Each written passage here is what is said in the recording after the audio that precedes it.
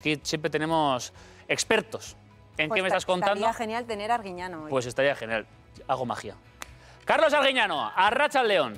Qué gustito, qué placer andar en la cocina, qué gozada al pensar en lo que viene después. que ahora, ahora ya lo sabemos, lo que viene después lo sabemos perfectamente. Viene marejada, joder, menuda, menuda que te montan. O sea, tú estás en la cocina disfrutando, siempre a gusto, gozando, y de repente parece que has hecho un plato que, ahí, ahí lo dejo, ahí lo dejo, he creado, con todo el cariño, te vas triunfante, limpias, y de repente te, dices- te están llamando terrorista gastronómico. joder. Hombre, es que Carlos, te puedes meter con todo en esta vida menos con la paella de un valenciano. Oye, pero fíjate que es curioso, Xavi, porque, oye, valencianos, yo creo que otra cosa no, pero han tenido, han tenido chorizos muy buenos. Han tenido chorizos históricos allí, al Camps, el Fabra, el otro, y de repente es curioso que el que les ha molestado ha sido el chorizo mío. esto, esto me recuerda hoy a aquel que pasaba, pasa por delante del Congreso y iba caminando de repente, oye, un- un- una bulla, se escuchaban unos gritos de dentro horrorosos. Ay, ladrón, corrupto, chorizo. El tío se queda alucinado, va donde el guarda y dice, oye, menuda, menuda marejada que tienen estos, ¿no? Y dice, guarda, no, marejada nada, están pasando lista. Madre mía, madre mía, Carlos, sal, sal de los jardines y cuéntanos qué es lo que nos vas a preparar hoy. Pues mira, vamos a hacer algo básico, Adela, vamos a hacer algo básico, rico, rico, con fundamento, como siempre, y sobre todo sin meternos en berenjenales. O sea, una cosa que vale tanto para desayunar como para almorzar, merienda, merienda, cena, lo que quieras. Es el piscolabis ideal.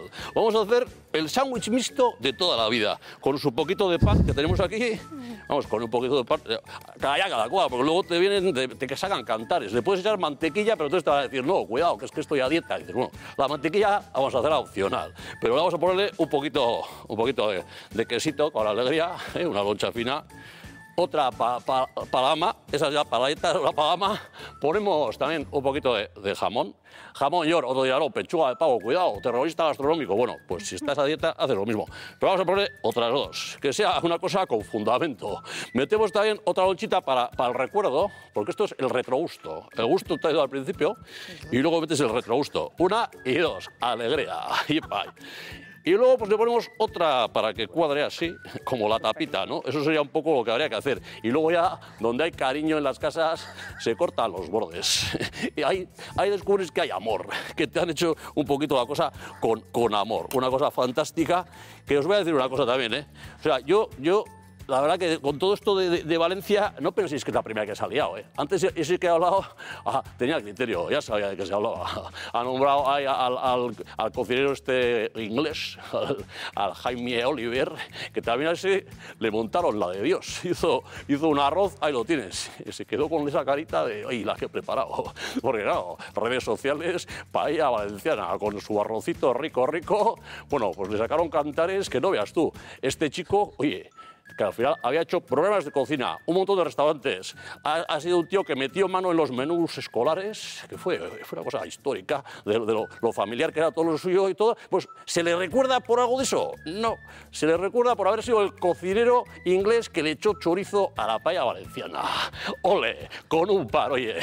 Y no es el caso único, ¿eh? Ahora con el confinamiento sabéis que también os hemos animado entre todos los cocineros y, y mucha gente se ha echado a, a cocinar, se ha hecho a cocinar. Oye, pues ahí tenéis otra cantante inglesa, una cantante con toda su buena fe, pues eh, además con orgullo, ¿no? Con todo el amor haces la- una tortilla y, y con orgullo. Esta es mi tortilla, tortilla española, dijo, que la he hecho hecha por mí misma, ma- myself. Myselfie en mala hora lo sacaste, guapa, porque la llamaron de todo, la llamaron de todo, pero la verdad que, que ves la tortilla y no sé cómo cantará, pero la Loles, la Loles, tienes unos trozos de patata así, unos tochos de patata guisantes, parece que se le ha caído ahí todo lo que tenía por la, por la alacena y luego ha batido unos huevos. Bueno, pero tampoco es para llamarla de todo, ¿no? Como hacen ahora. Pues nada, tampoco ha sido la última. Otro, otro británico, la verdad que los ingleses se lucen, oye, cuando no están haciendo balconing están, están destrozando un plato. Ahí tienes, Gordon Ramsay. Este es el chicote, el chicote inglés. Ahí lo tienes, está como en acción, está, oye, pipa, fenomenal. Está el tío haciendo ni más ni menos que un gazpacho. Un gazpacho que lo llevaba de libro. Niquelao lo llevaba y al final dice, venga, vente para arriba, gordón. Se vino para arriba y echó ahí, ya le veis, medio kilo de albahaca. Bueno, claro, casi, casi se lo cepillan también. Una cosa bárbara, una cosa terrorífica que la verdad que, que al final hay que andar con mucho cuidado lo que hace uno con las recetas porque, porque las cosas tienen, tienen su fundamento de alguna manera y yo os voy a decir una cosa, a mí todo esto de- de- de- del sándwich este me está dando como hambre y me está dando ganas de redondearlo un poquito. Vamos a redondearlo porque, porque vamos a ver, yo creo que a esto hay que meterle aquí en la tapadera De Carlos. Un poquito, darle sabor. justo. Carlos, yo no sé si eres eh, terrorista gastronómico, no sé, pero masoca gastronómico, ¿dónde vas con el chorizo de nuevo? A ver, por favor. ¿Pero qué pasa, Xavi? Hombre, por favor. Oye, ya sabéis que a mí me va la marcha, ¿no? Aquí está el choricito así, que se vea visto, lo ponemos... Ahí, ahí, canto. ahí está bonito. Es un choricito, justo un trocito de sabor. Ahí va la marcha y me gustaría acabar con un chiste que me ha recordado esto.